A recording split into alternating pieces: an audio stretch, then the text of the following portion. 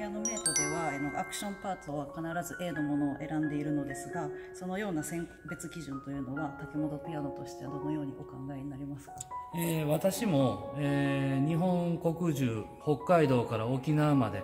えー、ピアノを検品しに行くことが、え、たまにあります。でその時に私も重要視しているのがピアノの外装は重要視してません。内部の方を重要視してます。